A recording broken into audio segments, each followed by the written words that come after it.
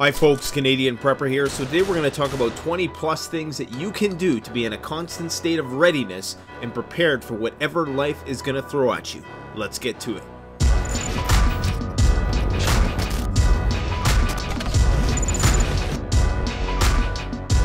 The following tips are intended to help support you in ensuring your personal safety and security throughout your everyday life. Most of these tips involve situational awareness and thinking proactively about your surroundings. The first tip is to always park backwards into a parking spot. This is going to allow for a much quicker departure in an emergent situation. When parking nose out, you have a more commanding field of view, which lends itself to a greater awareness of your immediate surroundings. The same principle should be with you when you're in a pedestrian mode always stick to the periphery and always have a wide field of view. So for example, if you're going to go to a restaurant, sit in a spot which is going to allow for maximum egress while allowing for the greatest field of view of the establishment's patrons. Ideally, you would sit next to a rear exit, that way if a problem entered the establishment, you're not first in the line of fire. If you are a person who is trained and licensed to conceal carry, this will provide you the most tactical vantage point to counteract the threat. When attending a major sporting event or going to a place where there's a lot of people, you'll be tempted to park as close as possible to the entrance. Just remember, the closer you park to the entrance, the longer it's going to take you to exit the parking lot.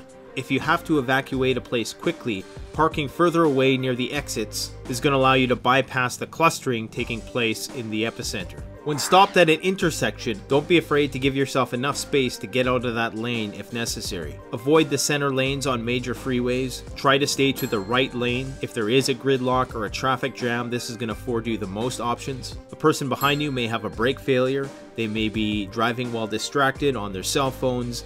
It might be icy out. This is going to allow you just an extra little bit of insurance in case they can't or don't stop to avoid a collision. In addition, this will also give you more options in the case of a carjacking. Anytime you enter a building, always be aware of where the emergency exits are. If you're going to spend a lot of time in that building, do a once over of the fire escape plan, just so you're familiar with the building layout and the different rooms and escape routes which may not be immediately apparent. In addition, always know where the fire alarms and the fire extinguishers are. Always have a means of defense within 6 foot reach, especially when you're in your home. Do whatever the law permits to give yourself a defensive edge. Always carry the following items on your person. A knife, a flashlight, a tactical pen, and a multi-tool. Obviously, the laws in the country that you live in will determine what you are able to carry as a means of self-defense. Maximize this to the fullest extent of the law. Always have the following emergency supplies in your vehicle. A glass breaking tool, which is in the immediate reach of the driver and all passengers. An air compressor, a jump starting battery pack, a fire extinguisher, a tow rope, a standard toolkit, a small amount of water and some non-perishable food, a wool blanket, a first aid kit, and a means of self-defense. If possible, include a bailout bag, just in case you have to leave your vehicle. This may contain some of the aforementioned items. Always lock the doors, especially when at home. The only thing worse than a burglary is a home invasion. It's important to remind your family members, particularly the younger ones, to do this. And if you're in the backyard, always lock your front door. If it's winter time and you leave your home, always make sure that you have the appropriate apparel to survive a vehicle breakdown. Many people will get complacent and they'll use remote start to preheat their cars and they'll jump in their car in a flimsy windbreaker or a t-shirt, thinking that nothing bad can happen. If your vehicle breaks down, you're going to freeze your butt off, especially if you're doing long commutes. Never wear sandals or flip-flops unless it's a sandal that lends itself to some light athletic activity. You put yourself at a major disadvantage and you become more of a target when you are dressed in vulnerable ways. This next one might seem obvious, but you should always know the weather forecast especially when you're going on a wilderness outing. Know what the 7 to 14 day forecast is. That way, if you do end up getting lost, at least then you'll have some awareness of what you need to do in terms of shelter preparation. No matter where you are in public, periodically scan the environment for suspicious people.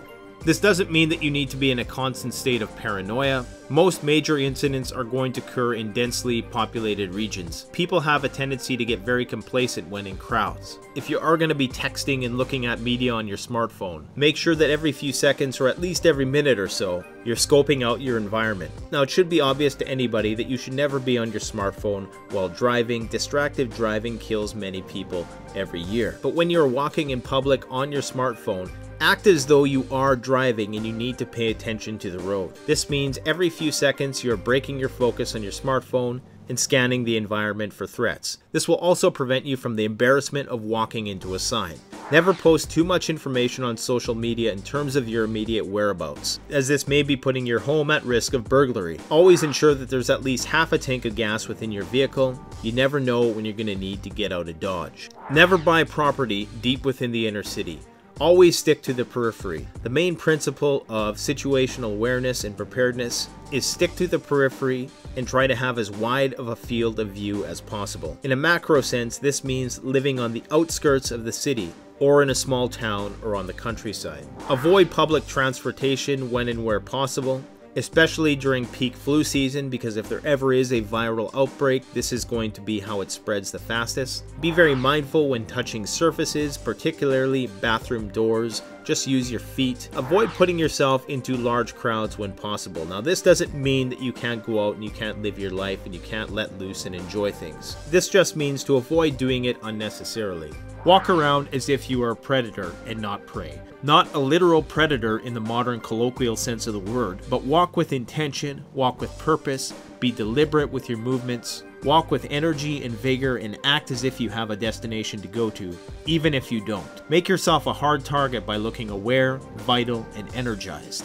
This next point may seem to contradict the last one, but it's important to blend in with your environment. Don't draw attention to yourself with overly unorthodox apparel. Be the person that blends in and that nobody is going to remember.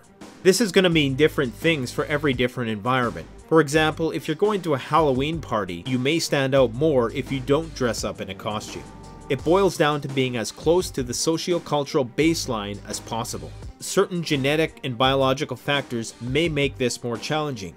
For example, if you are the tallest person in your community, perhaps you're a person of an ethnic minority within your community. If that's the case, it may require more effort on your part to equalize it in other ways. Now, this is not to say that you can't express yourself uniquely and creatively. There are many other ways to do that and scratch that itch without drawing attention to yourself. Exercise every day and stay fit. Whether it's a martial art or self-defense, being physically fit is the number one way to ensure that you can get out of a bad situation quickly. Stay informed and watch the news. It's important to know what's going on in the world so you can anticipate any major threats. Think for yourself. Don't get caught up in the herd mentality thinking. Just because everybody else is doing something doesn't mean you have to follow. If you're in a public predicament, think outside the box. If you find yourself caught up in the herd mentality, stop for a second, assess the situation, and determine whether following the group is the only course of action and whether it's the most appropriate course of action. There may well be many alternatives that you're not considering because the adrenaline of the situation and the power of the crowd. Always keep your home well lit. There's nothing a criminal likes more than darkness, and always make sure you have a good line of sight to the street and to your neighbors' homes. Don't give them the benefit of darkness and concealment. Whenever you're leaving your home, even if you're only leaving for a few hours, never give the impression that you're leaving for an extended period of time. Don't be hauling all your luggage out the front door in broad daylight for everybody to see that you're going on a trip and that you're going away for a week. Be more discreet about your planning and intentions. Never let road rage get the best of you. Realize that when you're behind the wheel of a moving vehicle, it's a life or death situation, and on an unconscious level, you're aware of this. This is why when other drivers are offensive at your expense, that adrenaline will typically emerge as an aggressive response. Instead of trying to exact justice in the following moments, by doing something antagonistic to the person who cut you off, let the universe do the work for you and live to fight another day. It's highly improbable that it was a personal attack against you, so don't take it as one. Last but not least is secrecy. Unfortunately, I routinely sacrifice my own security to make these videos for you as it requires me to be a public figure, but you have the option of remaining anonymous. So unless it's required or strategic to do so, don't talk about all your preparedness plans with your acquaintances.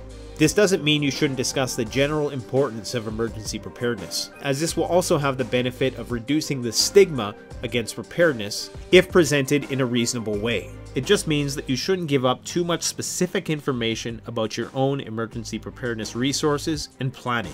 I hope you found some of these tips useful today. Stay alert, always be ready. Thanks for watching Canadian Prepper Out. The best way to support this channel is by gearing up through CanadianPreparedness.com. We got high quality gear, and I mean high quality gear only. There are free shipping options, and my subscribers get an exclusive discount of 10% off. Use coupon code SURVIVALPREPPER in all caps, one word, at the checkout. Thanks for your support.